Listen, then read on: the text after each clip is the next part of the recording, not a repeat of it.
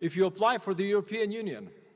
Ако аплицирате за членство во Европската Унија, прво мора да ги исполните Копенхашките критериуми, но не важи тоа и за мојата земја. Моравме да го смениме уставното име и тоа не беше доволно. Сега се бара преку методи од 17 и 18 век да станеме нешто друго од тоа што го зборуваме, за да заслужиме милост за членство, затоа што лутаме во бриселскиот лавирин веќе 14 години.